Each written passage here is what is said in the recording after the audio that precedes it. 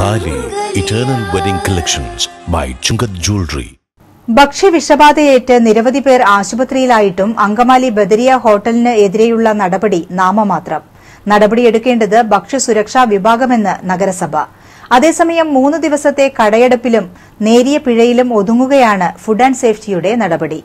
അങ്കമാലി നഗരസഭയിൽ ഹോട്ടൽ പരിശോധന നടക്കുമ്പോഴെല്ലാം പിടിക്കപ്പെടുന്ന ബദരിയ ഹോട്ടലിനെതിരെ നിയമ നടപടികൾ ഉണ്ടാകാതിരുന്നതാണ് ഭക്ഷ്യ വിഷബാധയ്ക്ക് കാരണമായതെന്ന് ആക്ഷേപമുയർന്നു.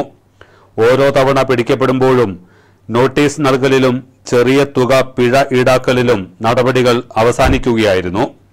ഈ വിഷയത്തിൽ കടുത്ത നടപടിയെടുക്കേണ്ടത് ഭക്ഷ്യസുരക്ഷാ വിഭാഗമാണെന്നും നഗരസഭയ്ക്കുള്ള അധികാരം പരിമിതമാണെന്നുമാണ് നഗരസഭാ അധികൃതർ പറയുന്നത്. അങ്കമാലി നഗരസഭയിൽ കഴിഞ്ഞ ദിവസം ഉണ്ടായ ഒരു ഹോട്ടലിൽ ഇതുമായി ബന്ധപ്പെട്ട് പിടിക്കുകയും ഏകദേശം അഞ്ചോളം പേർ മൂക്കന്നൂർ ആശുപത്രിയിലും ഇന്നിപ്പോൾ ഏകദേശം ഇരുപതോളം പേർ അങ്കമാലി എൽ എഫ് ആശുപത്രിയിൽ അഡ്മിറ്റാണെന്ന് ഞങ്ങൾക്ക് മനസ്സിലാക്കാൻ കഴിയും. അതിന്റെ ഭാഗമായി ഈ കഴിഞ്ഞ ഞായറാഴ്ച വൈകുന്നേരമാണ് അവിടുന്ന് ആഹാരം കഴിച്ച ആളുകൾക്കാണ് ഫുഡ് പോയിസൺ ഉണ്ടായത്. തിങ്കളാഴ്ച രാവിലെ തന്നെ ഞങ്ങൾ ആ ഹോട്ടലുമായി അവരുടെ ലൈസൻസ് സസ്പെൻഡ് ചെയ്യുകയും ആ ഹോട്ടൽ അടപ്പിക്കുകയും അങ്കമാലി നഗരസഭയുടെ ആരോഗ്യ വിഭാഗം ചെയ്തു.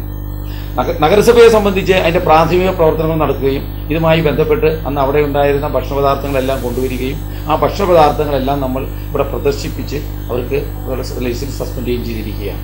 എന്നാൽ മൂന്ന് ദിവസം കട അടച്ചിട്ട് വൃത്തിയാക്കൽ നടത്താനും ഫൈൻ ഈടാക്കാനുമാണ് ഭക്ഷ്യസുരക്ഷാ വിഭാഗം നടപടിയെടുത്തിട്ടുള്ളതെന്ന് food safety officer C R Randeep പറയുന്നു. എന്തായാലും അവർ ചെയ്തിട്ട് മുനിസിപ്പാലിറ്റി ലൈസൻസ് കട്ട് ചെയ്തിട്ടുണ്ട് അവരുടെ ഇരുപതോളം പേർ ആശുപത്രിയിലായ ഭക്ഷ്യവിഷബാധയ്ക്ക് ഉത്തരവാദിയായ സ്ഥാപനത്തിനു നേരെ പേരിന് മാത്രമുള്ള നടപടിയുണ്ടാകുന്നത് ബന്ധപ്പെട്ട നിയമങ്ങളുടെ ദുർബലതയിലേക്കാണ് വിരൽ ചൂണ്ടുന്നത്.